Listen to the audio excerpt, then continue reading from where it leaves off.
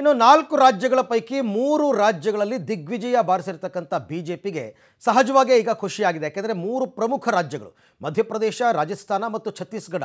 ಛತ್ತೀಸ್ಗಢದಲ್ಲಂತೂ ಇವರು ಅಂದ್ಕೊಂಡೇ ಇರಲಿಲ್ಲ, ಗೆಲ್ತೀವಿ ಅಂತ ಗೆದ್ದಿದ್ದಾರೆ. ಇವತ್ತಿನಿಂದ ಆರಂಭವಾಗುವಂತಹ ಸಂಸತ್ ಅಧಿವೇಶನದ ಮೇಲೆ ಇದು ಪರಿಣಾಮ ಬೀರುತ್ತೆ ಅಂತ ಹೇಳಲಾಗ್ತಾ ಇದೆ.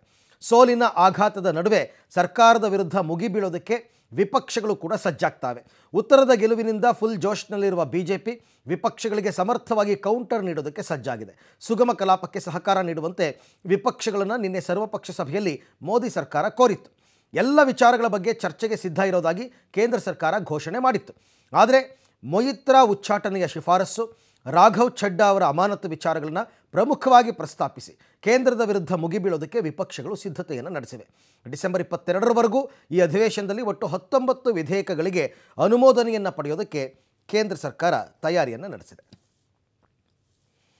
ನಾಲ್ಕು ರಾಜ್ಯಗಳಲ್ಲಿ ಹೊರಬಿದ್ದಂತಹ ಫಲಿತಾಂಶ.